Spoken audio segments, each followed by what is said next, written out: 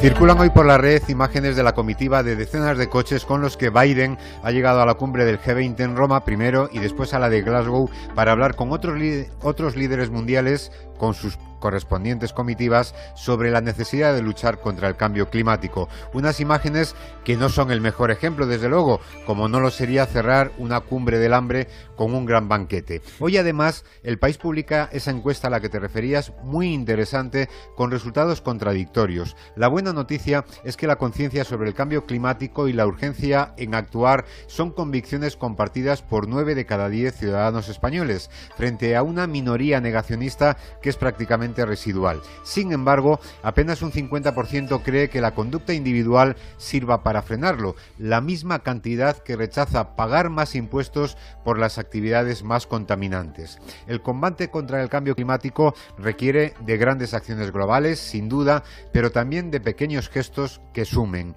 Concierne a los estados y a las grandes industrias, pero también a todos y cada uno de nosotros. Y si hemos tomado ya conciencia, como dice la encuesta, de que no afrontarlo nos puede salir muy caro, no podemos pensar que revertirlo nos puede salir gratis. Mm.